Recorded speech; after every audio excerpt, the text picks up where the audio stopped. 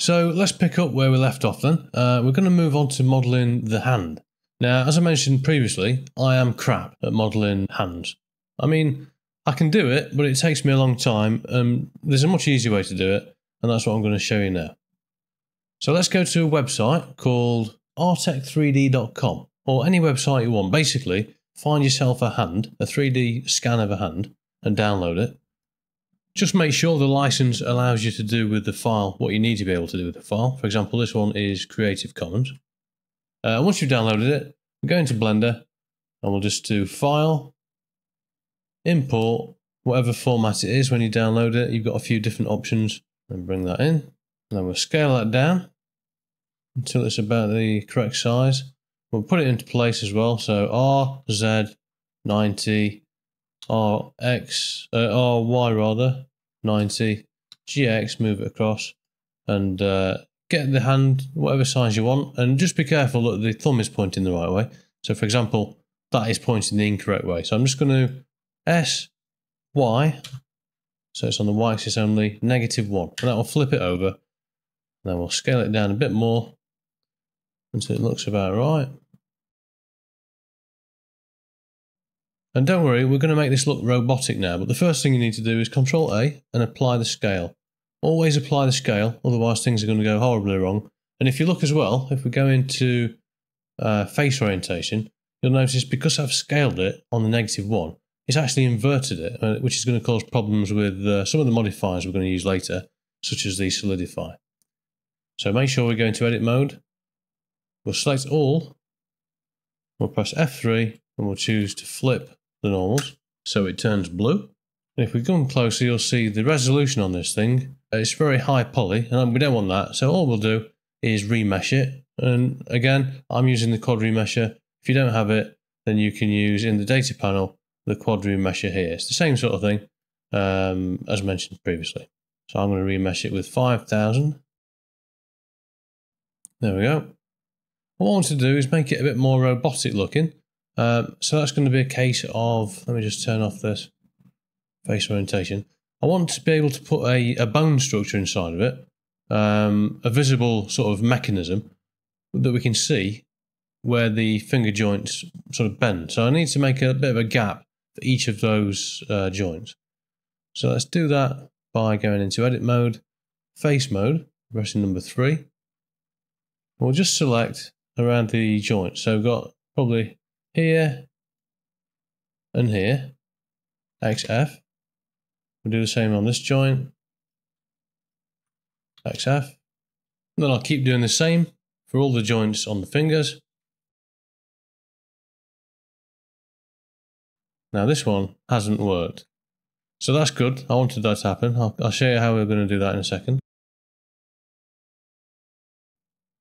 Now this one then, that's problematic, we can either do it a bit higher up, even if we do it higher up, we're still going to get a problem. So let's go back into sculpt mode, and we'll just do the same as we did previously. We'll manually cut that out. So we'll go into the lasso face set. We'll go over the top, make sure we're getting a, a view so that we can cut straight through. And I'm going to draw that on. And then we can just tidy that up with the paint one. If we hold down control, maybe make it a bit smaller, uh, hold down control on the grey part, we can paint over the yellow part with grey. Maybe about there. And if we hover over the yellow before we start painting with control hold down, then it will expand the yellow.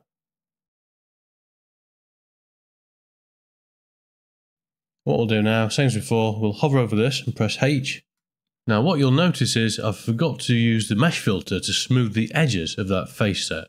So if you want to do that, that's fine. I'm going to leave it as it is because it's going to give me an opportunity to show you another way to smooth the vertices later on.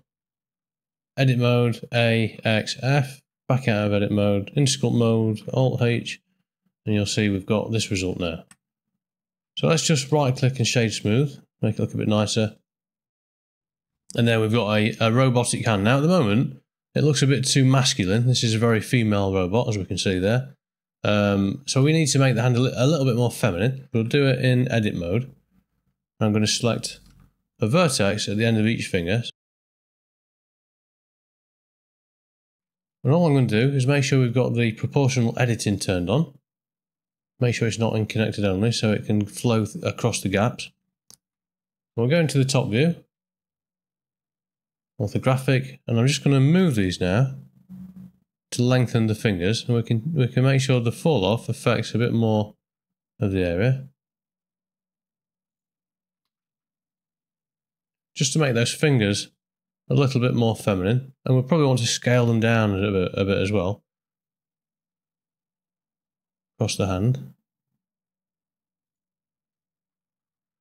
And there we've got a bit more of a feminine looking hand. And we probably also want to tidy up the gap between these fingers so that they're a little bit more aligned. So we'll go back into edit mode.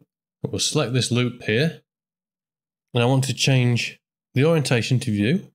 Let's make sure we set connected only so that when we make a scale, it's only going to affect the uh, connected object like we can see there. And I'm using the mouse wheel again to change the fall off. Let's have a look. So we probably want to S, Y, scale that. And if you get a strange results, make sure your pivot point is set to median. And I'm scaling on the y-axis, and because I've chosen view, the y-axis is straight up. As you can see, wherever I rotate the viewport, the green y-axis will always be vertical in the center of the viewport. And we're just trying to get it so it's um, they're a bit more aligned, basically, the opposing loops. So I'm basically aligning the fingers with the view, selecting the two loops that I want to be aligned, and then I'm scaling them on the y-axis so they're close together. That will align them. And then I'm taking the one of the loops and I'm sliding it back up by pressing G twice. And we can flip it. If we use the E, it will align it to either the bottom one, so this one here, or if I press F now, now, now I press E, I press F, it's going to align it to what it was originally. That's what I want. So about there, maybe I'll rotate it a little bit. And just keep doing that. Now I've made a bit of a mistake here. I forgot to use the mesh filter in sculpt mode before I cut away those faces where we've got this gap here, which has left us with this really jagged border. So let me try and tidy that up. What we can do there, right click and we'll just choose to smooth the vertices, smooth vertices. And we move them back up to about here. Maybe expand the selection a little bit. And I'll smooth them again. That'll give us a nice sort of smooth finish around the edge there. Before I move on, I just want to make it a little bit more robotic. You see we've still got quite a bit of detail, such as the tendons. Now, you obviously a robot's not going to have tendons, but you might. I mean, you could if you wanted to keep it like that. It's completely up to you, of course. But I'm going to probably make it a little bit more robotic. I'm going to go into the filter. I'm going to change this to normal smooth. I think that's better. So that's making it a little bit less human, a bit more sort of smooth and mechanical.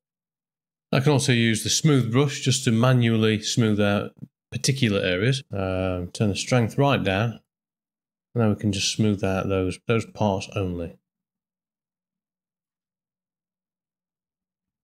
Probably do the same in this little area as well.